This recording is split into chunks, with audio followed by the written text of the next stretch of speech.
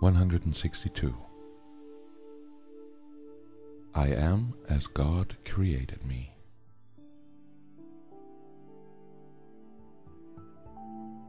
This single thought, held firmly in the mind, would save the world.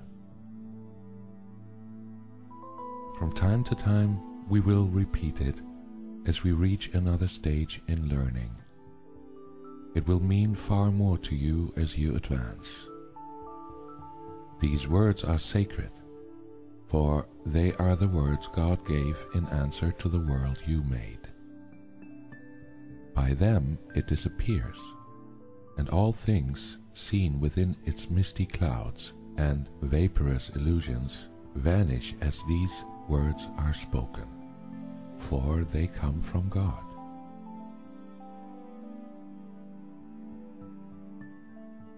He is the word by which the Son became his Father's happiness, his love, and his completion.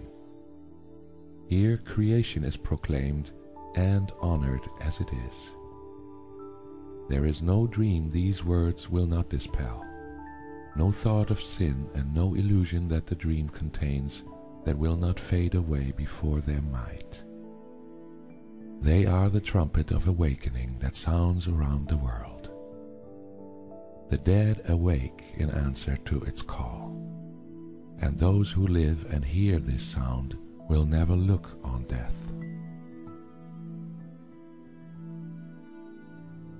Holy indeed is he who makes these words his own, arising with them in his mind, recalling them throughout the day, at night bringing them with him as he goes to sleep. His dreams are happy and his rest secure, his safety certain and his body healed, because he sleeps and wakens with the truth before him always. He will save the world because he gives the world what he receives each time he practices the words of truth.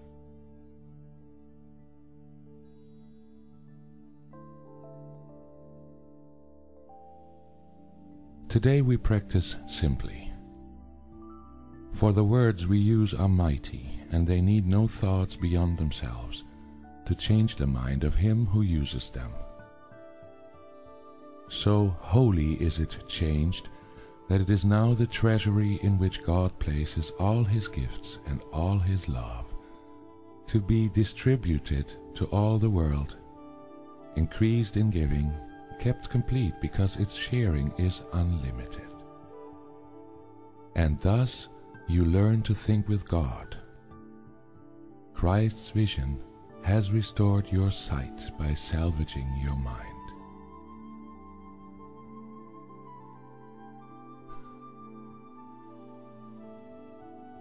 We honor you today. Yours is the right to perfect holiness you now accept. With this acceptance is salvation brought to everyone. For who could cherish sin when holiness like this has blessed the world?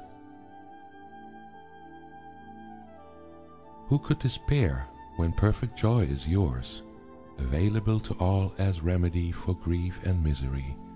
All sense of loss, and for complete escape from sin and guilt.